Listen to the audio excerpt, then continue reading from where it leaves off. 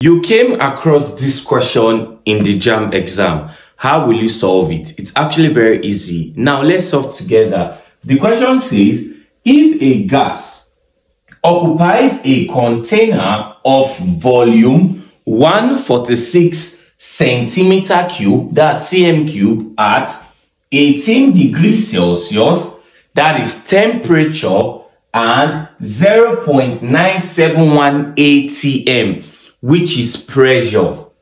Its volume in cm cube at STP is now. How do we solve this question? It's very easy. Now, before we solve the question, we have to know the topic to which this question is from in the subject called chemistry. And this particular question is from the topic in chemistry called gas laws.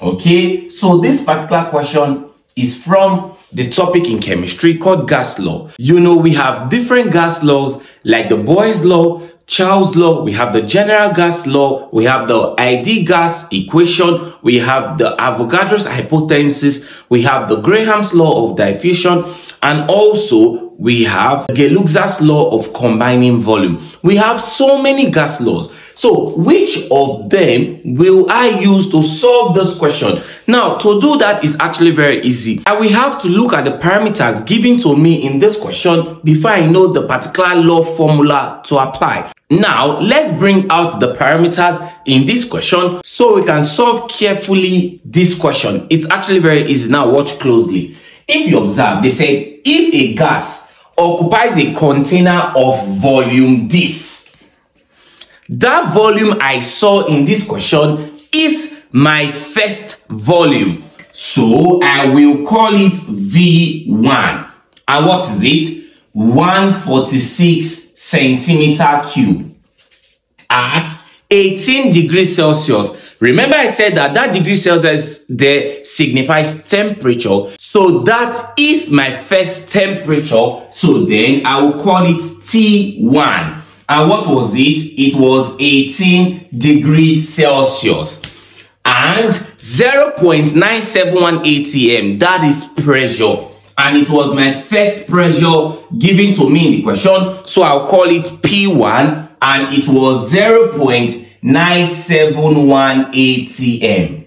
Now, then I said, comma, its volume in cm cube at STP is, that means they are asking us to get another volume. Then the other volume they are asking us to get will become V2. I believe you understand what I'm saying. So they are asking us to get the second volume, which becomes V2, but they said it must be in centimeter cube. So we are looking for the volume, which is V2 in centimeter cube. It's actually very easy, but we have to pay attention to something said in this question.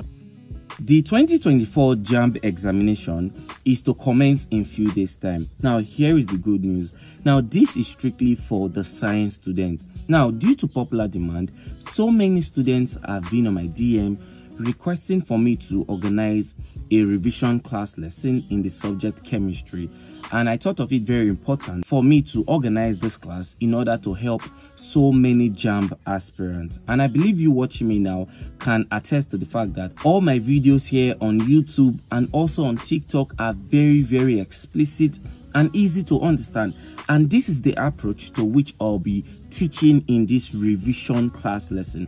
And this is a class you cannot afford to miss because I'll be walking you through different topics in chemistry from the introductory aspect. But now, this time around, I'll be solving more of past questions. For each topics, I'll be solving at least about 20 questions, ranging from the introductory aspect of chemistry down to organic chemistry. So this is a class you cannot afford to miss because I know the key areas to which JAMB set their questions in chemistry and also in biology as well, where in this class, I'll still tell you guys key topics to focus on. So this is a class lesson you cannot afford to miss, like naming organic compounds, electrolysis, solubility, nuclear chemistry, atomic structure, periodic table, metals and non-metals. These are key areas you should focus more on. And these are the topics I'll be teaching in this intensive revision chemistry class lesson. This is an intensive revision class lesson you cannot afford to miss. To be part of this class, make sure you follow the instructions here in the screen. Thanks for watching.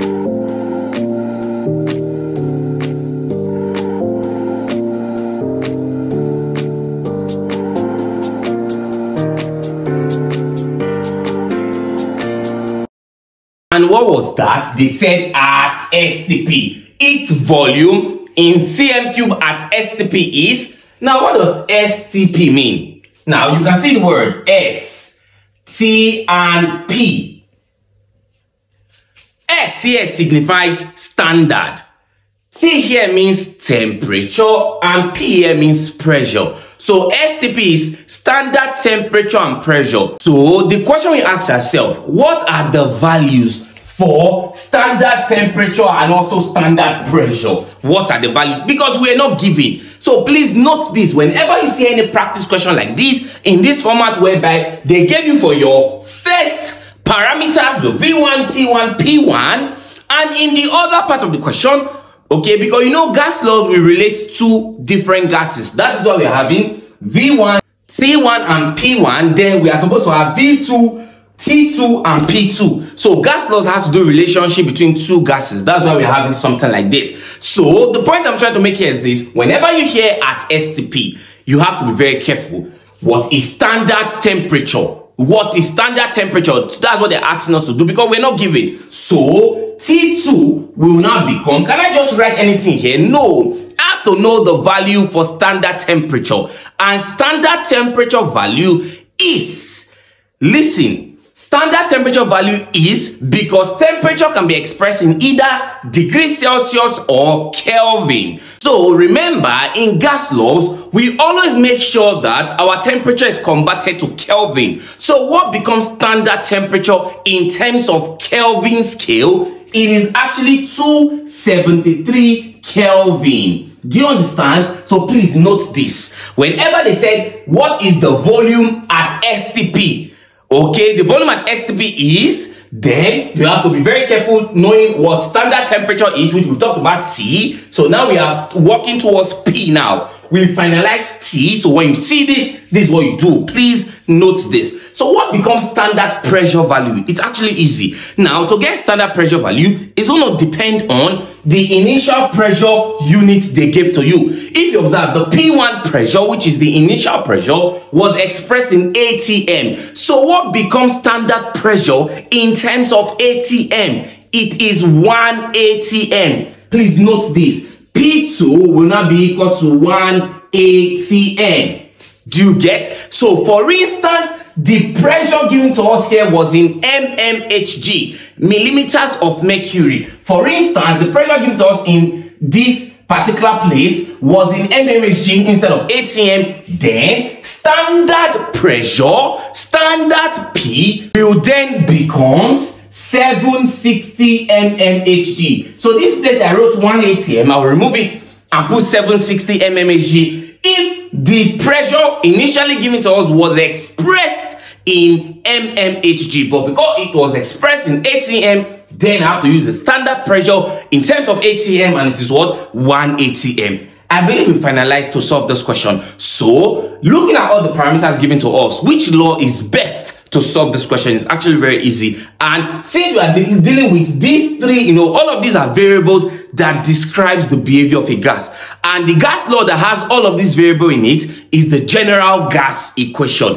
The general gas what equation? Please note this. The general gas equation. For instance, we are to just relate temperature and volume, we'll then use Charles law. But if it is pressure and volume, we'll then use Boyle's law. I believe you know all of these. But because we are having the three of them, we do you use the general gas what equation which I'm about writing on the board. So we'll solve this question without stress. So at the end of solving this question, I'm going to give you own practice questions to solve and provide the answer in the comment section. So moving further, what becomes the general gas equation formula is very easy. It is P1 V1 divided by T1 is equal to P2 V2 divided by T2. So this is the formula. And from our question, what were we asked to get? V2. So we have to make this subject and it's easy, to cross multiply. Making V2 subject is going to be when you have to making this subject, everything here with times, you divide by P2 and T1. It's simple. I believe you know this. So V2 will now be equal to P1, V1, T2 divided by, okay, these two guys, which is P2, T1. Do you understand? It's actually very easy. Now, if you are just joining this community, and you haven't yet subscribed to this channel, do well to click on the subscribe button and also share all of these video lessons with your friends because it's going to help you all improve greatly in the subject chemistry. So let's progress. What becomes V2? P1 as given the question is 0.971, which you are seeing here is 0.971 times V1, 146, 146 times T2, 273 divided by P2. P2, P2 is 1 atm. And lastly, T1 you can see initially they gave us in degrees Celsius, but I told you whenever you're solving any practice question on gas law or in chemistry majorly, make sure you convert your temperature to in degrees Celsius to Kelvin. And how do you do that? It's actually very easy. You use the equation, which is this, I'm writing the board. To convert temperature to Kelvin scale, it is degrees Celsius plus 273. So Kelvin will not be equal to what's degrees Celsius given the question? 18 degrees Celsius plus 273. Then it's to be 18 plus 273 was that 18 plus 273 that's 291 kelvin. 291 kelvin k. So here become 291 don't use your temperature in degrees celsius like that. It won't work okay? So what becomes v2 when we hit our calculator at the end? So we are having 0 0.971 times 146 times 273 divided by 1 times 291 we are having 132.9 okay? Which is approximately 133 centimeter cube because they said we should make sure it's in centimeter cube definitely it should be in centimeter cube why the initial was in centimeter cube do you understand so the one we have to solve should be in centimeter cube as well and in the look of things the answer to this question becomes option A, which is very easy. I believe you understand all what have been done here. So if you find this video lesson helpful, do well to click on the subscribe button if you're watching this video on YouTube. If you're watching it on TikTok, do well to click on the follow button and also share with your friends. So get ready for your own practice question. And your own practice question, the volume here will be changed to let's say 200 centimeter and this will be changed to let's say 25 degrees Celsius and uh, and let's leave the pressure like that and let's still get volume as well. So at stp i believe you know what to do. It's actually very easy. Make sure you use the standard value for temperature and pressure okay? So all these must be noted. Make sure you put the answer in the comment section. Thanks for watching